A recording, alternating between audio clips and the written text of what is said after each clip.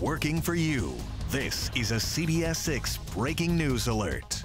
Good evening. I'm Bill Fitzgerald in the CBS 6 studio with breaking news out of Richmond tonight. A report of what appears to be a stolen armor personnel carrier from Fort Pickett.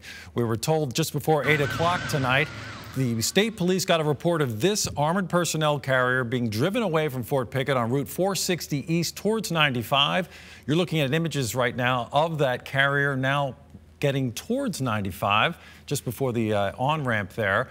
Uh, we're told that right now it could actually be at large in the city of Richmond. At last report, it was seen in the boulevard area of 95. We're not sure if it's exited there and could be near the diamond. But again, at 755 tonight, state police told by Fort Pickett that an unauthorized driver took this armored personnel carrier, drove it away from Fort Pickett, heading east on 460 and then up 95.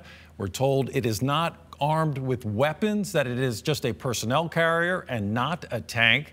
Uh, state police tell us as of 30 minutes ago, at least, there were no crashes associated with this armored personnel carrier. And again, you see state police, uh, multiple vehicles in hot pursuit of this uh, vehicle. Uh, we were told on 460 it was going around 40 miles an hour. However, we had several crew members along 95 saying that the speeds actually approached 60 miles an hour or more on 95. And again, we are told it may have exited in the Richmond area off the Boulevard exit of 95 and may be in the Diamond area. We are continuing to follow this. Uh, we'll try to get more video and more reports exactly uh, where state police are in apprehending the driver. Again, a stolen armored personnel carrier, possibly at large right now in Richmond. We'll have much more details coming up on CBS 6 News at 11.